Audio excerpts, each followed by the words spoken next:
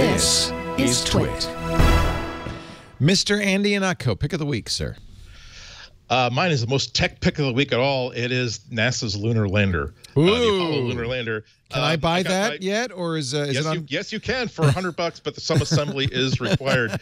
Uh, it's the Lego lunar oh, lander. it's Lego. man. Oh, It, it got it was released recently just a few months ago and it is incredible because it's not just okay you built something that is shaped like the lunar lander it's like well, by the Oh, time you put nice. I, I've, I've just I've just ordered it I just ordered it today my I've, my my thanks to everybody on Twitter who occasionally during like Black Friday if I tweeted out a link to a deal like on a DVD or on a book or on something that I thought was really really cool. Uh, I, I get I get one big windfall of Amazon credits a year for and every year I spend them exclusively on things that are gonna I'm gonna have fun with and this was one of the things I bought with this the my windfall came today.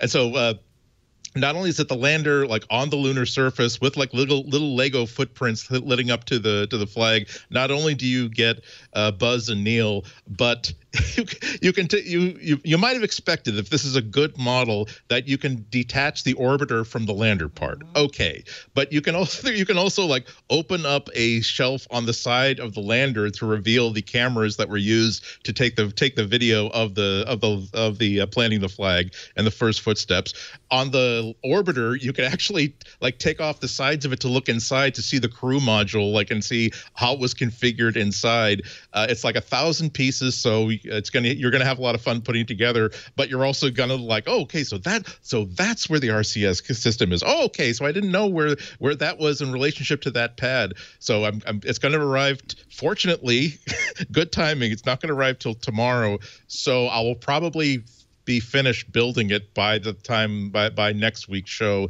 If it had arrived on Sunday or Monday, I might be making it. I, I might be just basically doing the show like side saddle while I'm still Yeah. playing with my lunar lander. well, we expect to uh, see it next week. That I- is pretty okay, I will. You can you can also uh, by the way you can also get a lighting kit for it. There are like a couple of different people who've made third party lighting kits. You can Oh install inside God. it so it's illuminated. Al- already as I'm ordering it, I'm thinking, ooh, and when I finish it, I want to like get a museum style vitrine to like put a glass case to put on it. Anyway. I'm really happy. Thank you. Uh, thank. It's uh, it's only a hundred bucks. It's like uh, the amount of happiness that I'm experiencing just knowing that it's arriving tomorrow is worth at least forty of those dollars. And so. and as Burke pointed out, for those of you who are doubters, proof positive we did land on the moon. Exactly.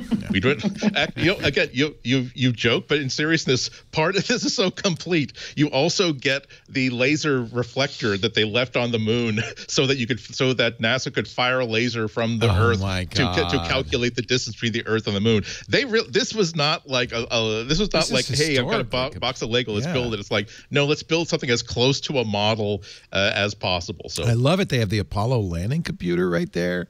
This Yep, is exactly. really this is so cool. I, I I wouldn't even put it past them that there is like a square brick and a round brick representing the differences between the the air scrubber filters uh, in the in the lander versus section versus the uh, uh, what they had in the other part in the, in the if, orbiter. If you've always wondered what's behind the screen Andy's sitting in front of, there it is. There's his There beautiful studio and uh, the lunar lander. I just I, I just sit there and quietly cry while I wait for another chance to be on be on Twit.